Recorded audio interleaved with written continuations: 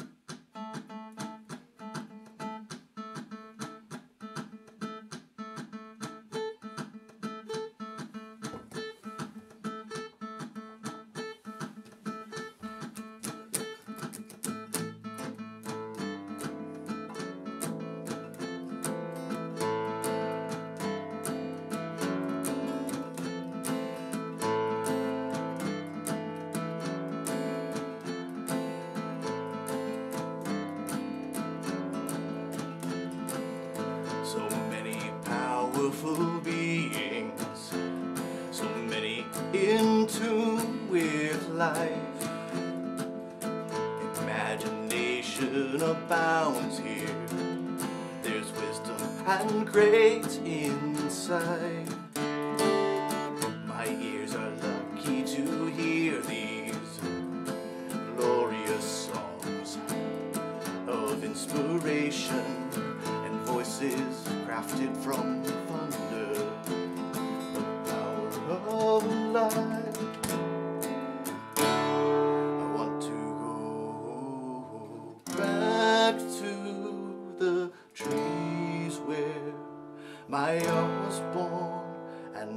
was duly sworn.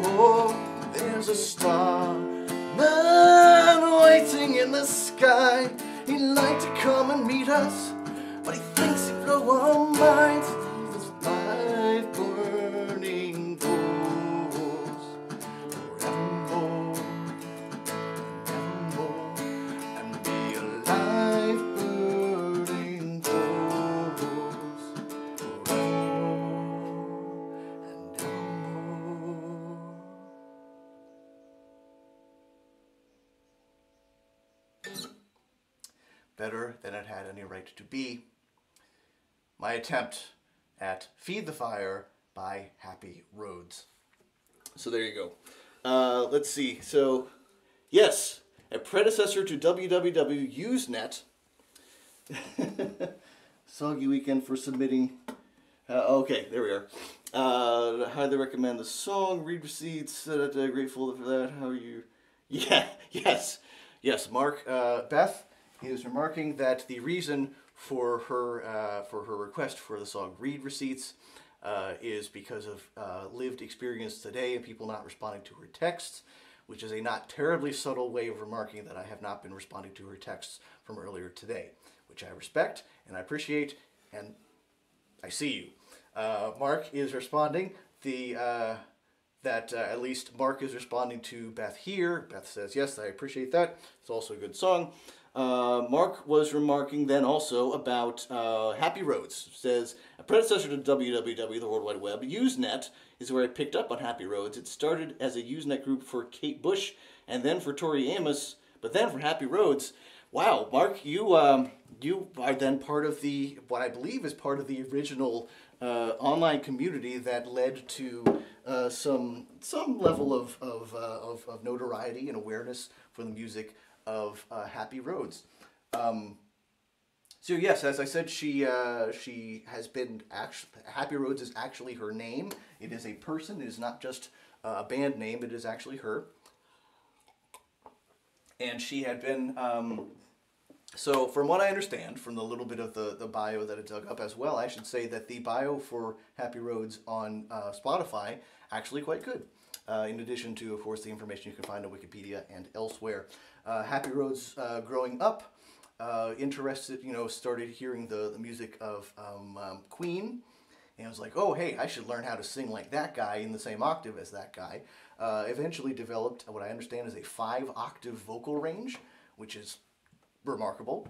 Uh, and was uh, was was making some some music on her own and was posting it online. And then apparently the very Usenet group that Mark was was hanging out with online uh, discovered her music. It ended up connecting with some uh, some radio DJs and whatnot, and some start, stuff started getting out there. The um, the song "Feed the Fire." Ended up uh, connected with a DJ at Philadelphia's WXPN, and WXPN, of course, the the indie music uh, national public radio public station in uh, in Philadelphia there that has continued to do lots of cool stuff with uh, promoting independent report, uh, independent artists and recordings. Um, yeah, Feed the Fire uh, kind of took off. There is a wonderful interview online with her from about 1995 with horrible audio quality, uh, but wherein as a, a television person in Philadelphia is interviewing her about her music and where the name comes from and all of those sorts of things. So, whenever there are eventually links that are posted with this particular YouTube video, you'll be able to see those things. Um, fortunately, uh, I wasn't sure this was going to happen since uh, Happy Rhodes is in fact just a little bit more obscure than some of the folks that I tend to cover on this channel. Um, I was able to find live video of her playing the acoustic version of that song which was very helpful in figuring out what the chords were that I was supposed to be doing. I attempted for a while to figure out how to do the picking pattern that she does on the um, on the original acoustic tribute version, which is something like.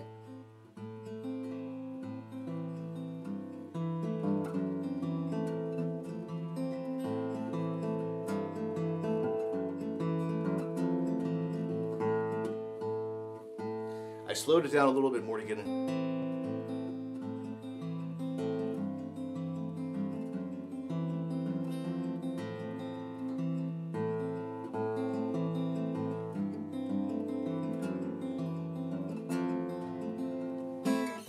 Like the picking pattern she does on the acoustic tribute version of the song. Uh, obviously, I could not play it at speed, and I wasn't also convinced that I'd be able to do the lyrics while trying to do that. So I said, all right, we're jettisoning all of that at the last minute, uh, and we're going to attempt to do it in another fashion. But yes, very, very interesting, and uh, fortunately, someone, possibly Mark, had posted enough information online for me able to, to track down, uh, first off, that it's Yes and Kate Bush and uh, David Bowie. I recognize the David Bowie Um, but I did not. Well, I was not as familiar with uh, with Yes and with uh, Kate Bush. And let me see if I could find this here. In addition to oh figures, the uh, da, da, da, nope, that's not gonna help me. That's not gonna help me.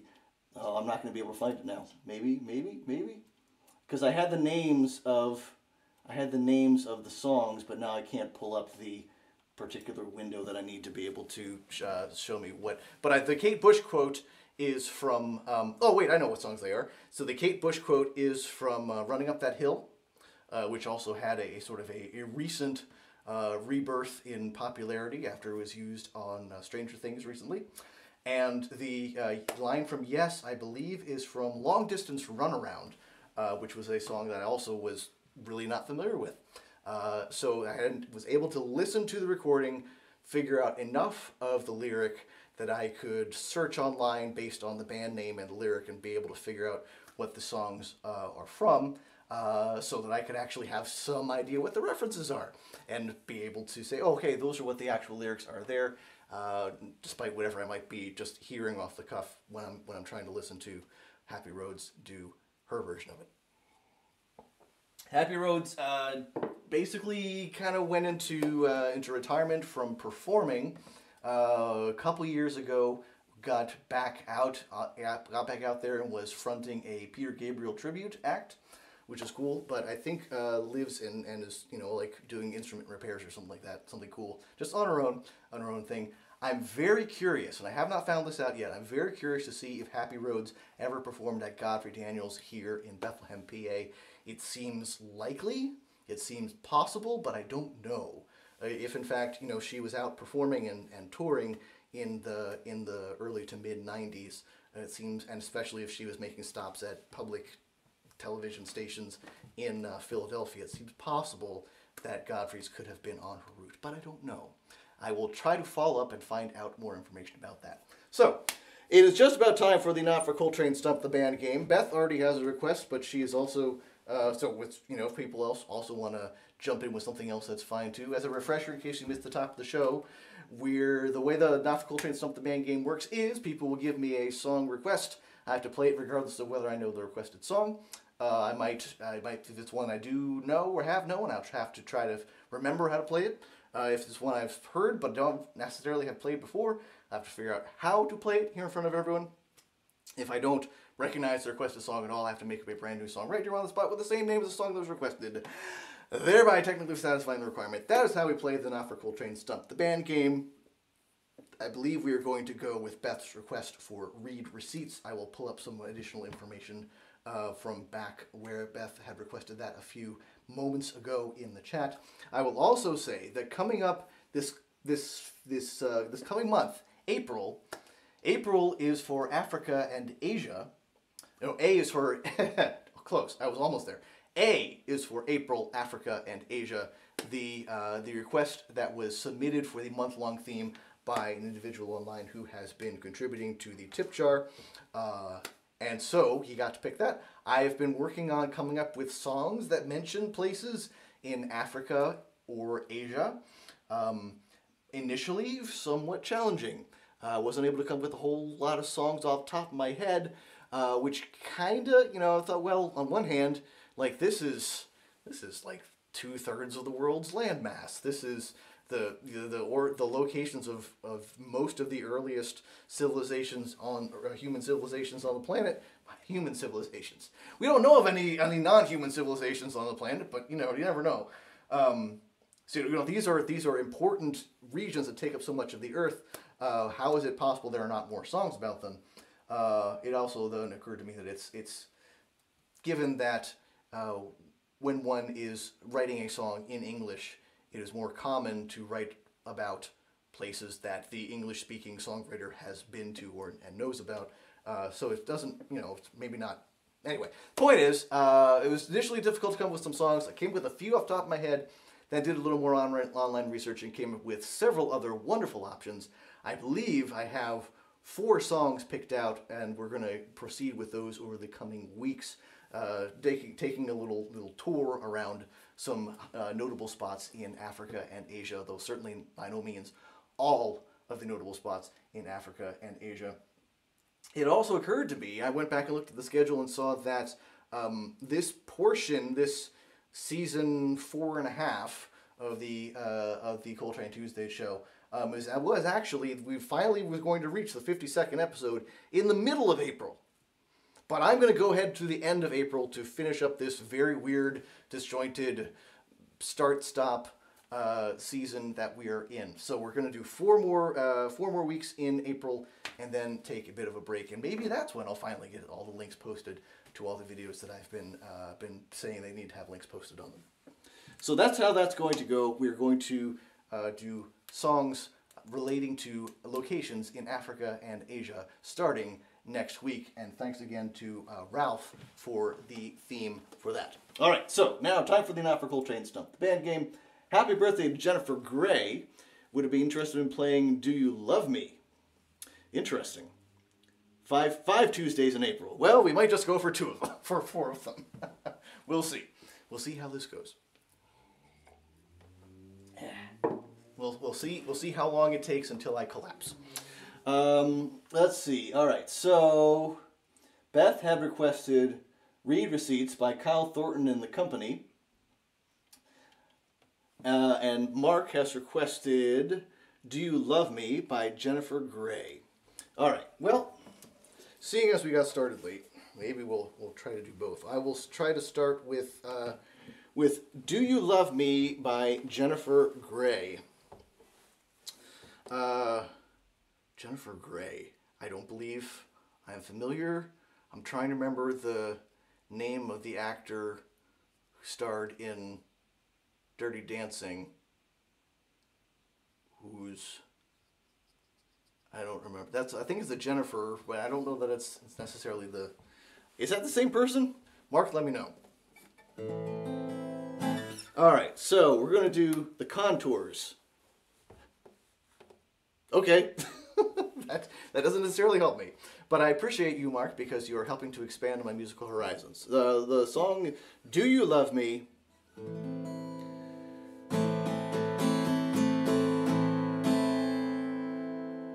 The regular uh, YouTube has decided there needs to be a uh, an, uh, an icon in the spot.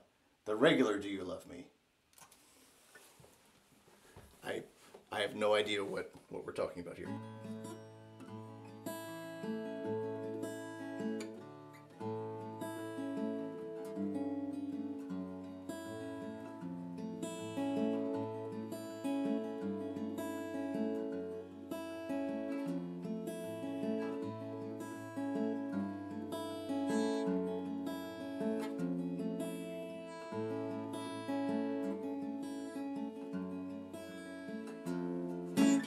Obviously the uh, the the chords there with the little bass line progression inspired basically just entirely ripping off uh, what we had just seen there with uh, with Happy Rhodes but moving it into a major key instead of a minor key that uh, might work.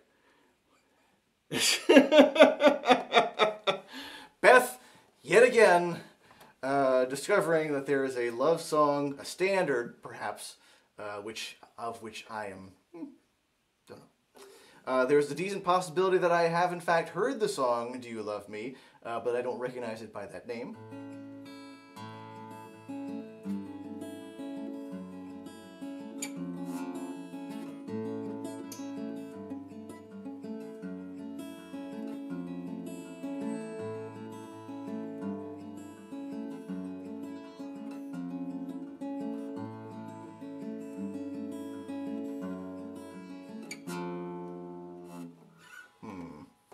Else to go with it.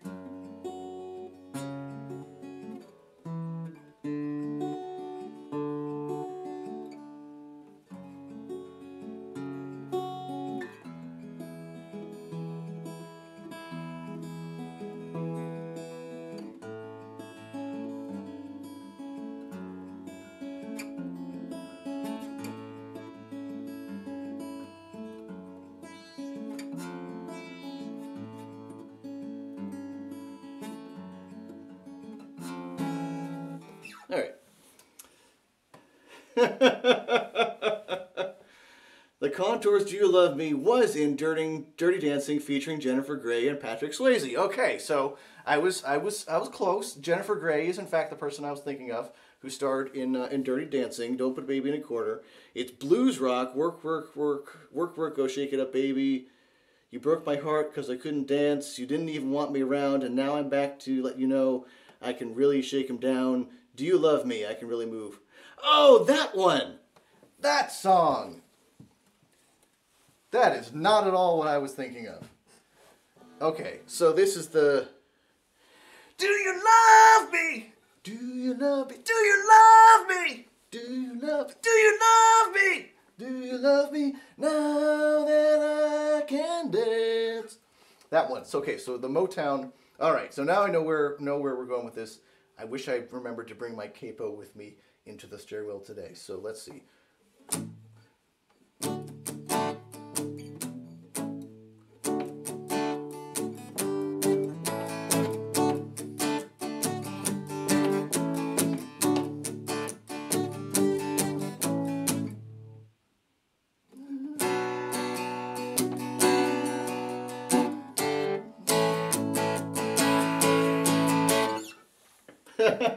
yes, I was trying to make it Happy Road style, basically. I was thinking, you know, honestly, the, the song that came to mind was, um, was I think uh, what I was channeling was Will You Still Love Me Tomorrow? Is what I was thinking of, uh, sort of tonally, uh, and where I might go with, uh, with Do You Love Me? So it's a very, very different sort of feel from what what the actual song is. Now I know what we're talking about, and so we're going to see if we can.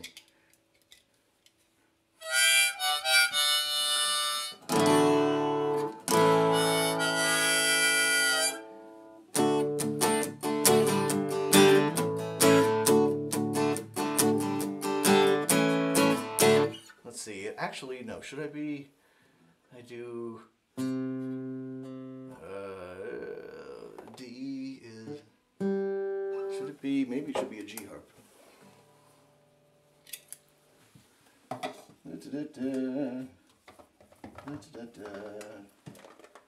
Yes, that one. yeah, that's that's about right.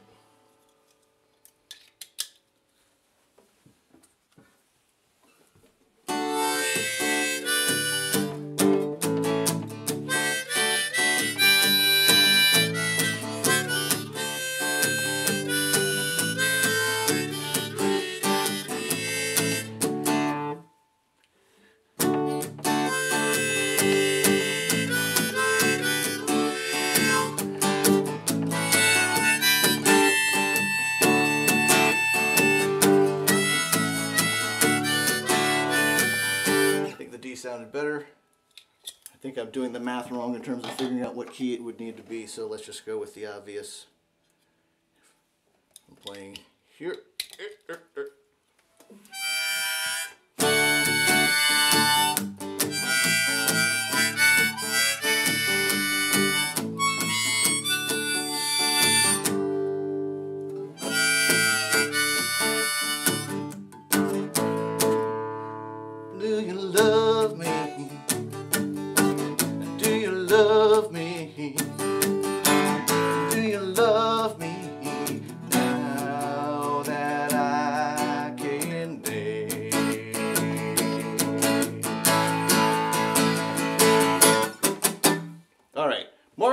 Doing what he is typically doing in assisting me. I appreciate it. There are some lyrics here so that I can follow along. You broke my heart because I couldn't dance, didn't even want me around, and now I'm back to let you know I can really shake him down.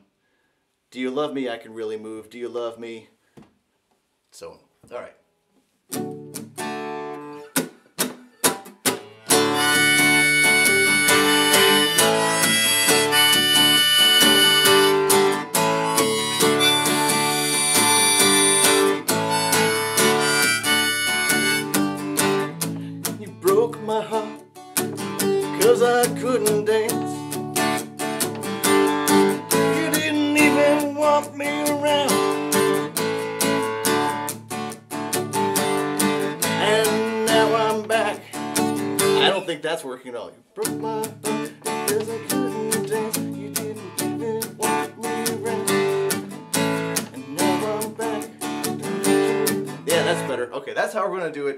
attempting, again, Do You Love Me? As, as has appeared in the movie Dirty Dancing, starring Jennifer Grey. Happy birthday, Jennifer Grey. You